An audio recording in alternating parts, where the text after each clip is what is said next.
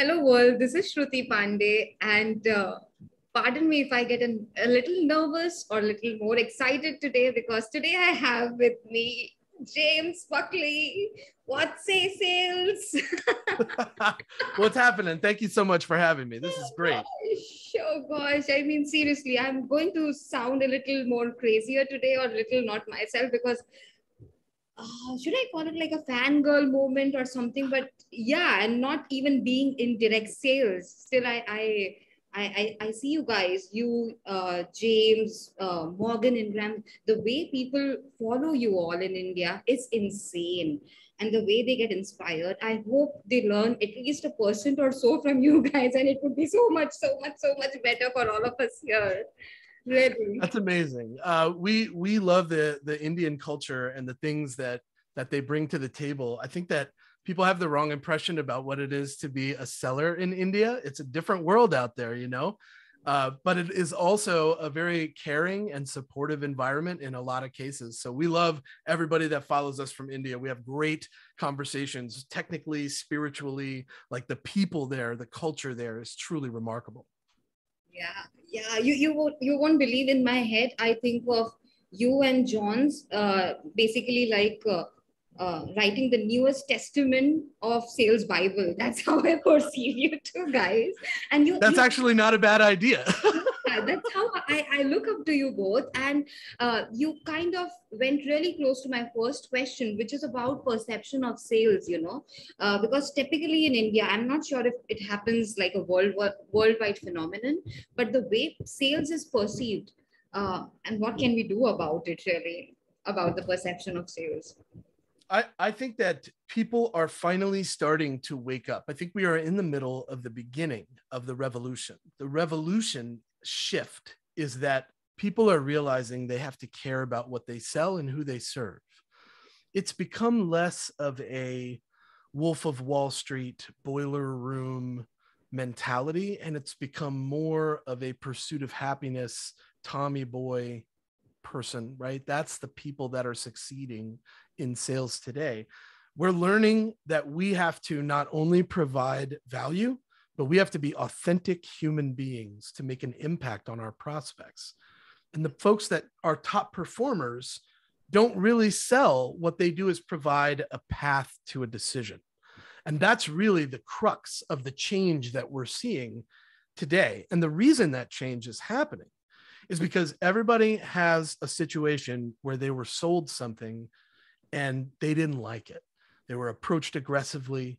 They were con- convinced or persuaded to buy something that really they were questioning whether or not they needed it, right? We've all had that experience. That sleazy slime ball salesperson persona, if you will, is becoming a thing of the past. And I think we are all relieved to see that as being the case. It's very refreshing to get a phone call these days from an SDR, from an AE that understands what you do, has a strong opener, is relevant, and is excited to deliver great value to you. It's refreshing. When you start hearing that from people, this is refreshing. Thank you very much. You've done a great job as a seller, and we're seeing more of that these days. Wow wow this makes this makes total sense because until unless you are convinced to sell something how do you really sell it? And mm. i think it's attaching purpose to selling not just uh, hitting a quota or a target or a number maybe. I wish that happens more so that we see a, a better perception of sales probably. Well the stigma is becoming um, very obvious i think. I think we recognize somebody that's not being authentic much sooner in the mm-hmm. conversation. I have a, a, personal branding course that I do, and I talk about this a lot. Everybody's been at a restaurant before, and they sit down at the restaurant, and somebody comes to the table and they're like, Hi, my name's Megan. I'm going to be your server today. Can I get you anything to drink? And you're like, Hey, no one talks like that, Megan. Don't talk to me like that. Right? Like it's it's not don't be that fake authentic person. Hello, my name is Robert, and I'm calling to share with you that we are starting a new project on. Sounds like this. an 80s English movie, but yeah, you're like you're like, is this recorded? Like, what is that? Right? Like these things are becoming a thing of the past, and people that are starting conversations off with, "Hi, is this Shruti?" Hi, Shruti. Thank you for taking the call. Do you have a moment before your next meeting? these people are getting the time. They're more authentic, they're more human. They're having real back and forth conversations. It's not just connect and pitch. Yeah. I mean, just my last episode where I was talking about community building, exactly we stuck the same chord where uh, I was like, you can't really fake such a thing, be it trust in community building or sales or whatever. The, the moment you start to fake, it shows. And you you shouldn't be thinking the other person or somebody on the other side is, is a fool or something because they know. even even shoppers that mm-hmm. are in the market for what you're selling will run away screaming from you if you are acting like a robot or going through motions that they don't care about or demoing features that they didn't ask for you, we have to adjust the way we sell to match the person we're selling to Right. instead of forcing the sale on somebody that we know very little about. Gosh. I, I hope someday you visit india and i'll try to show you around mumbai because most shopkeepers in mumbai the way they do sales is is just remarkable. People should just go to these shops and understand from them how to do sales. Like uh, for the beginners here in india the the, the way a, a, a normal shopkeeper uh, does the sale that you come out buying things which you didn't even need because you just felt good about the way you were treated in that shop. And he's like, Yeah, I think I can buy this also. Oh, okay, I'll get that too, and stuff like that. It's just insane. It is insane, but cultural differences are around for a reason. There is a specific reason why selling out of India is different than selling out of the United States and the UK and Germany, right? It all that's why cultural knowledge is so important uh, religious knowledge so important. It fills in the gaps for the types of people that we come in contact with through our day-to-day lives. Knowing those backgrounds and those beliefs help us to relate. And relate is so important. Relativeness so important. Relativity so important when you are in sales. Because if you can't be relative no one cares I, I, went everywhere with this one question. Uh, but my second question is uh, something which I feel uh, very strongly about. And let me know if I if you want me to repeat it. Does being in a stressful target meeting job give salespeople the right to yell at other team members? Hmm. Um, I think we all accept the fact that sales is a stressful job. But the way that we manage stress impacts those around us in a large way. I don't think anything gives you the right to yell at colleagues, coworkers, people. I don't think there's an excuse for that. If you need to have a private conversation, that's fine, but it should be done in a professional and maintained manner, right? When we lose our cool, it speaks to our weakness. It speaks to the fact that we have a difficult time controlling our emotions. And that is usually something that loses followership it, followership, it loses credibility. Uh, it forces us to be viewed in a different light by those around us. And you never want to catch the label of somebody that's a hothead, somebody that loses their temper quickly, someone that yells and screams. Once you catch that label, it's really difficult for you to have good relationships with people around you. And you have to have positive relationships if you'd like to move forward. You can't have a negative relationship with everyone in your office and expect to be promoted, supported, taught. That's not a realistic perspective. So, no, I do not think that working in a stressful environment gives anyone the right to be a hothead or yell and scream at employees, colleagues, coworkers. That's not okay in the in the current modern selling work environment. Forget selling. Like generally speaking, in business, this is not an okay environment to have. Right. And how can they handle this? Because I, I know the answer is definitely this is not uh, permitted. But how, mm-hmm. if there, there are people like that, and, and, I'm sure you would know most of the people. Uh, so, how, how do you think can this situation be avoided or mm. tip to handle such situations? So for frontline people specifically, people that function below the power line, if they if you are constantly seeing people get yelled at, getting yelled at, and you feel like you're approached aggressively at work, there's a choice that we make every day, whether or not we want to be employed by that company, that person, that team, or we want something new. If you can move departments and not be a part of that environment anymore, then great, stay at that company, move departments, find where you fit and where you're happy but if you can't, maybe it's time to look elsewhere and find that job that you fit the culture of so that you're not in a aggressive environment anymore life is entirely too short for us to spend it working at an organization we are unhappy with. It's eight hours a day our entire lives, eight to 10 to 12 hours a day, depending on your work ethic. It's a lot of our lives. I hope you enjoy it. I hope you're getting something out of it and feel like you're getting the satisfaction that you need because that's what keeps us coming back. Yep. Uh, you see people that um, come into the office and they just they have that body language that says they're exhausted and they hate their jobs and they can't believe they have to come here every day. Yeah. I never want to be that person. I'd much rather be the person that wakes up early because I'm excited. Right. I always get excited because I'm like, what's going to happen today? I know that feeling. Yeah, that's wow. Thank you. Thank you for summarizing it all so well.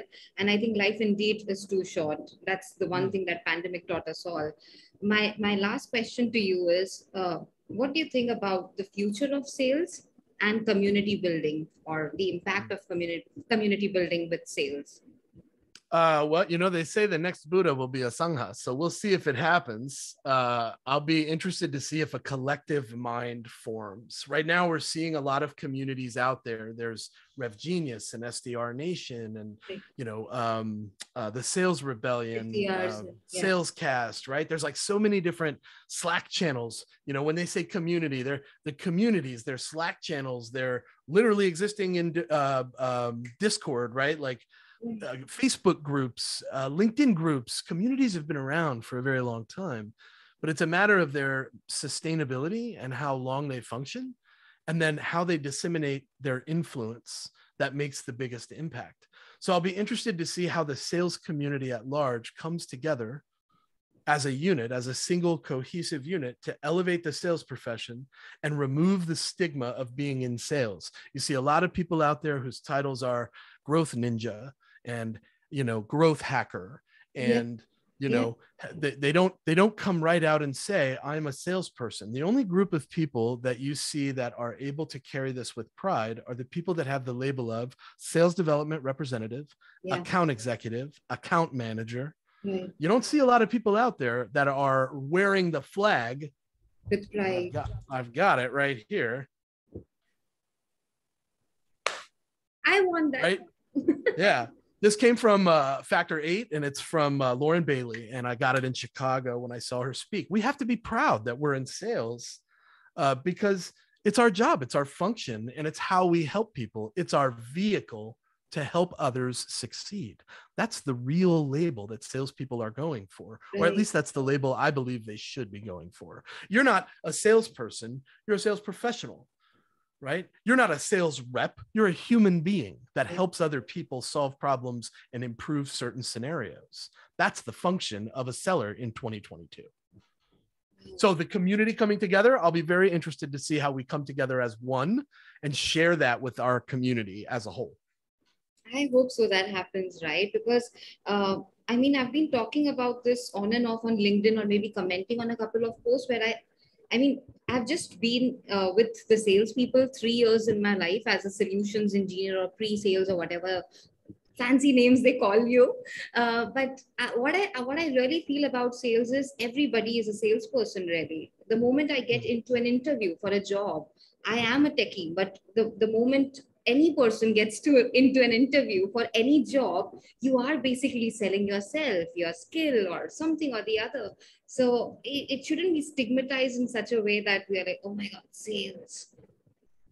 Well i don't think the stigma is that we feel that way. I think the stigma is that people that don't consider themselves salespeople feel that way. And nowhere is this more obvious than when we are shopping for a new car because we have the money we want the car. We are looking for the car. We're actually getting in and out of different cars at mm-hmm. the lot. And then we see the salesperson come and they look at us and our immediate thought is shit i got to get out of here before this guy talks to me like i don't want i don't want this person to talk to me and i just think this is the funniest phenomenon that's mm-hmm. happened in in recent times right because like that stigma of here comes this sleazeball car salesman That's the thing that has to get removed from our society on the outside because it can't be removed from the inside. It's easy for every salesperson to say, I'm not a sleazy car, a car salesman type of guy. Right. Every salesperson in the world, male, female, doesn't matter. They will say, I'm not that kind of seller. Nobody is like, oh, yeah, I totally lie to my prospects. Nobody. Nobody's like, oh, yeah, no, I totally will say anything I have to to get the close, anything I have to. Right. No one says these things. And yet that's the stigma. And it's because at one point in time, that's what it was. That's what it used to be. Now it's changing to be more customer centric. So the customers have to embrace that. They have to turn around. Nobody, everybody always talks about how the sales process is is like broken. No one talks about how the sales process, the buying process is broken, right? The buying process, the seller has to change, but the buyer has to change with the seller, and that's a hard relationship to manage. Yeah, yeah, wow. understandable. I mean, the, the moment we also become a buyer, we also become the same person, right? Like how we meet our customers or prospects, really. This is one hell of a conversation. If I may ask you one bonus question, James, if that's okay to do. Go for it. You, you're my, you're one of my favorite humans. I feel like asking this question. Yeah, you are. you are. Let's do it. Okay, so my my bonus question is um, health because I I literally have not taken care of myself and all the while that I've been working. And again, sales is a very fast paced life. What would you advise to youngsters, elders, I don't know, the mid group, whatever? Like, how can one take care of themselves and health really? in any job in this in this crazy world maybe for that instance. Yeah yeah. So actually this is a great question to focus on two groups. One is the group of frontline people that are out there living in this world and doing this job and two is the leaders that manage those people. So i'll talk to both groups separately and give both groups advice.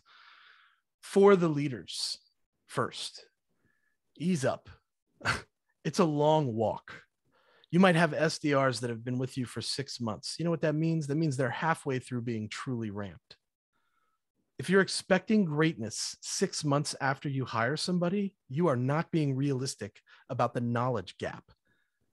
It takes a year just to learn the language, just to learn the progress, just to learn the ICPs, the personas, the industry, the vertical, the product itself, the support, the path, all of it, the language that your prospects use, everything. It takes a year just to get there.